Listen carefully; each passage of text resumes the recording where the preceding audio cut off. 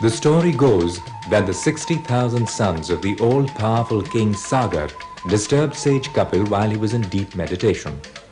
This offended the sage. The unfortunate sons incurred the wrath of the sage who turned the misguided princes into ashes with just one gaze.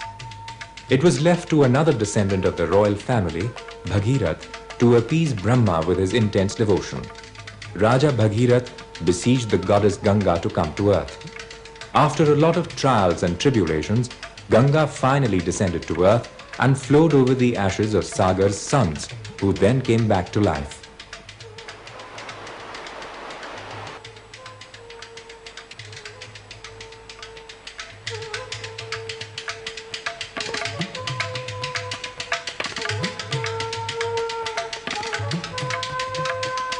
From Gangotri, the Bhagirathi flows in a northwestwardly direction, that is Uttar, and therefore the place is known as Gangotri.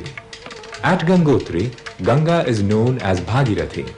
Strictly speaking, only at and after the confluence of Bhagirathi and Alaknanda at Devprayag, it is called Ganga.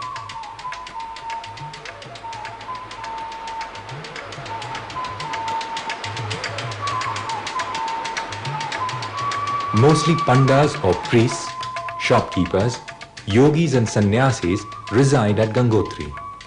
The tiny village of Gangotri is full of giant deodars and conifers